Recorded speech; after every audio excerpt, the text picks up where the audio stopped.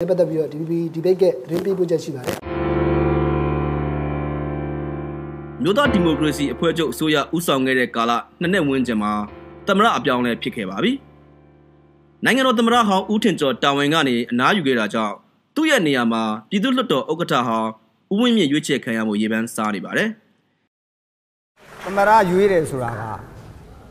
အာနာရှင်ပါတီတွေကတော့တူကောင်းတယောက်ကောင်းနဲ့နာမည်တက်ပြီးရွေးလို့ရတယ် ဒီမိုကရေစီပါတီတွေကတော့စီးစီဆုံးဖြတ်ချက်နေတယ်ဒါပေဒါပေမဲ့တခြားပါတီတွေမှာရှိသလားရှိနိုင်ရင်ပြပါဆိုတော့ကျွန်တော်တလုံးနဲ့ပြောပါမယ်လရတော့တော့ငှက်တိုင်းလာပါ။ပြည်သူ့လွှတ်တော်ဥက္ကဋ္ဌအဖြစ်တာဝန်ထမ်းဆောင်ခဲ့တဲ့ဦးဝင်းမြင့်ဟာမြို့သားဒီမိုကရေစီအဖွဲ့ချုပ်ပါတီစတင်ထူထောင်တဲ့အစောပိုင်းကာလတွေကတည်းကပါဝင်ခဲ့သူပါ။1990အထွေထွေရွေးကောက်ပွဲ 2012ကြားပြတ်ရွေးကောက်ပွဲနဲ့2015အထွေထွေရွေးကောက်ပွဲတွေမှာပြည်သူလူထုကရွေးချယ်ခဲ့ပါတယ်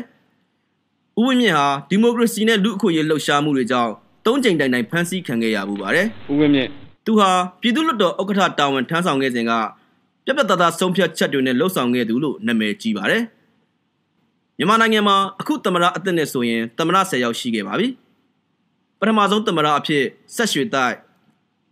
ဒေါက်တာဘာဦးမန်းဝင်းမောင် 1962ခုနှစ်မှာတော့ဗိုလ်ချုပ်ကြီးနေဝင်းကအာဏာသိမ်းလိုက်ပါတယ်။အာဏာသိမ်းပြီး12နှစ်အကြာ1984ကစလို့ဦးနေဝင်းကသမရအဖြစ်တာဝန်ယူခဲ့ပါတယ်။သူပြီးတော့ဦးစန်းယူဦးစိန်လွင်ဒေါက်တာမောင်မောင်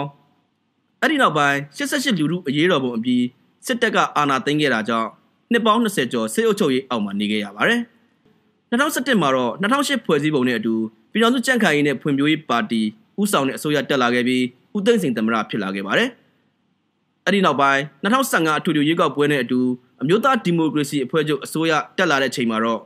ဦးထင်ကျော်သမ္မတဖြစ်လာခဲ့ပါတယ်။အပြောင်းလဲကိုအမှန်တကယ်လိုအပ်နေတဲ့ပြည်သူတွေဟာနှစ်နှစ်တာကာလအတွင်းအစိုးရကိုအားမရဖြစ်ခဲ့ကြပါတယ်။အခုလိုတမရအပြောင်းလဲမှာတမရအစ်စ်ကဘာတွေလုပ်ပေးနိုင်မှာလဲအစိုးရလုပ်ပိုင်ခွင့်၃နှစ်လောက်ပဲကြံတော့တဲ့အချိန်မှာတိုင်းပြည်ရဲ့အပြောင်းလဲတစ်ခုကိုဘယ်လောက်ထိအင်အားစိုက်ပြီးလုပ်ပေး